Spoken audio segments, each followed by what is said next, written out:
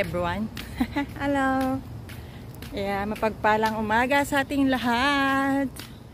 Ayan, dahil umaga na ulit, kailangan natin pumasok ng trabaho. Wala palang flash sa harap tong camera ko. Sabi ganun nito. Mahal-mahal eh. Wala palang flash sa harap. Buti pa yung isang cellphone ko meron. Ayan, may ilaw naman eh. Ayan guys, pasok na tayo. Pasok na tayo para kumita. Ilang araw kasi walang kita na last week. Yan, pag nasanay ka talaga ng may trabaho, gusto mo magtatrabaho talaga. Yun. Tapos, pagka nasanay ka na malaki yung sahod mo, ay malamig na. Oh, wala akong sweater. I forgot. Parang kinis naman ang mukha ko. Gawin mo ilaw. Hindi, ano papatawa lang. Pagka talaga nasanay ka ng may trabaho. Trabaho, trabaho lang.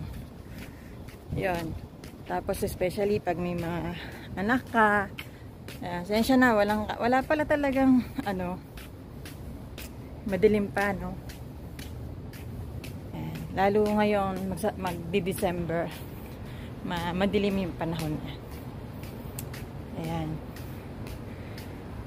uh, syempre kahit nasa abroad ka kung may pamilya ka ang hirap ding makaipon ganon. Lalo na pag may mga anak. Kasi talagang responsibilidad mo talaga pag may anak ka. Yun kaya yan sa mga OFW dyan. Shout out. Ingat ingat and ipon ipon. Para lahat tayo ay may ipon Ang ipon natin puro resibo. oh, 'di ba? Hindi, joke lang. Hindi, dapat lang talaga mag-ipon kahit kahit konti magtatabi kasi nga ayan ang laki naging, naging impact ng pandemic sa Pilipinas ano pag hindi ka talaga nag-ipon tapos wala kang madudukot hindi mo alam na in one day wala ka palang trabaho ng ilang days. Ayun. Ako bilang OFW hindi ako masyadong nagreklamo na na bakit ganito, bakit ganyan. Kasi nagpapasalamat ako at kahit naging nag-pandemic nag, meron pa rin akong trabaho nun. Kaya ano nakakapag nakakapag, nakakatulong pa rin ako sa kapatid ko. Yun, hindi gaya nung wala na sila, wala silang trabaho. Plus wala ka rin trabaho. Parang ang hirap, ano. Pero naranasan ko yan kasi nung, ayan guys, pasensya na madilim. I don't know bakit wala palang flash to. Ano, ah, uh, nung dumating ako dito sa USA, wala rin akong trabaho. Pero yung naibigay sa akin ng amo ko sa Hong Kong. Yun nagamit ko siya. Nagamit ko siya kahit monthly nagbibigay ako ng pambigas kahit bigas lang sa kapatid ko. Yun. Tapos di syempre ilang buwan kasi nga pandemic uh, nawala yung wala pa yung parang security number ko kaya hindi pa ako pwedeng mag work ayoko naman mag work ng illegal. Syempre mahirap pero mayroon pa rin talagang nag-work dito na as a nanny. Uh, illegal siya. Yun.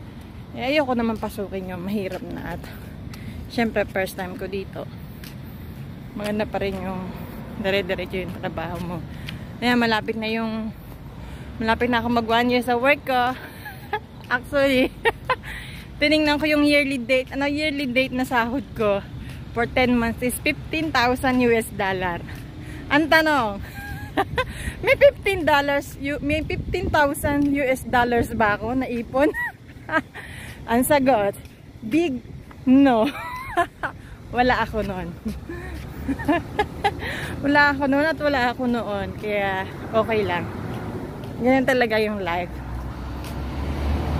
Ayun, kailangan maghigpit talaga. Hindi kasi ako talaga, pag may nasinggahan na pabili sa Pinas, bili, order, ganun. Pero, hindi ko naman inuubos yung isang sahod ko. Guys, mahangin. Ang pati naman ng mukha ko. Thank you, Lay. Thank you, Lay. Ayan, malapit na ako sa work. Naglalakad lang ako. Malapit na ako sa work, malayo pa pala. Naglalakad lang.